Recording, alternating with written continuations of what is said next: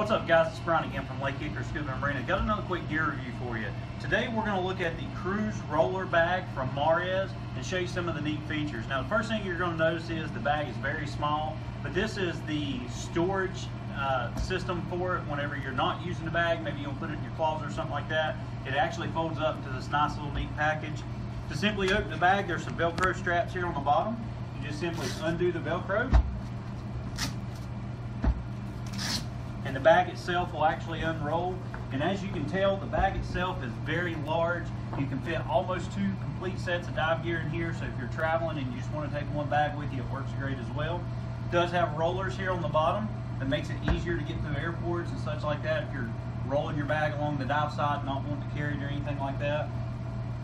Popping the bag up here, you'll notice that there's several pockets on the top part. You're gonna have a smaller pocket to put maybe a mask or a camera system or something like that.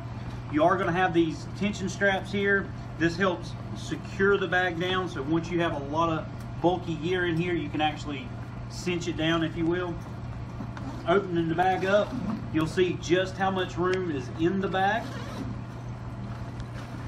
You also have the same strap systems here to help pull that gear down or compression straps if you will. Plenty of room, got an extra storage pocket down here. And once again, you do have an extra storage pocket on the front.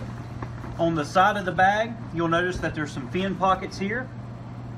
So if you want to put your fins in the side of the pockets versus putting them inside, makes it easier to stow and it also helps structure the bag as well. You're to have one on each side. Moving along to the back side of the bag,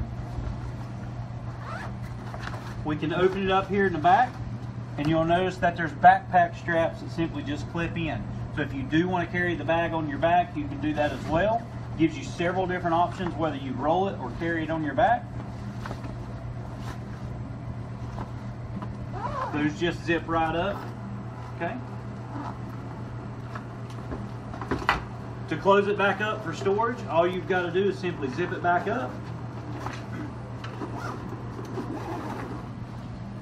Take your tension straps, snap them into place, or compression straps if you will.